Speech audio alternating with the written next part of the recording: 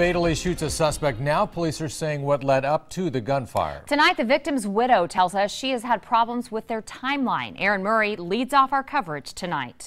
You're gonna get shot! Get out of the car right now!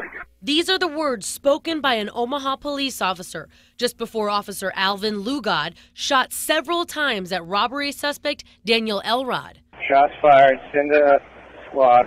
Elrod died Tuesday morning in Nebraska Medicine. Hours later, police released a timeline of what they say happened. Robbery just occurred, Family Dollar store.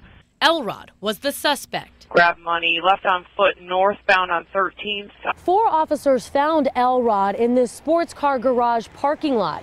They say they gave him loud verbal commands to show his hands and to get on the ground.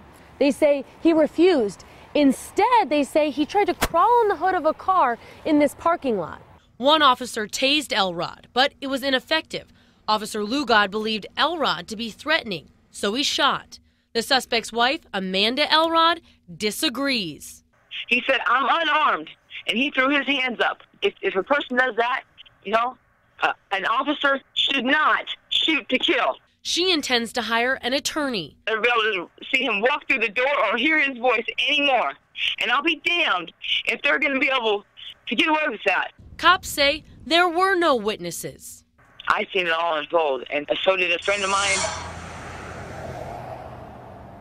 John Mallory, police did not find a weapon with Elrod or at the scene.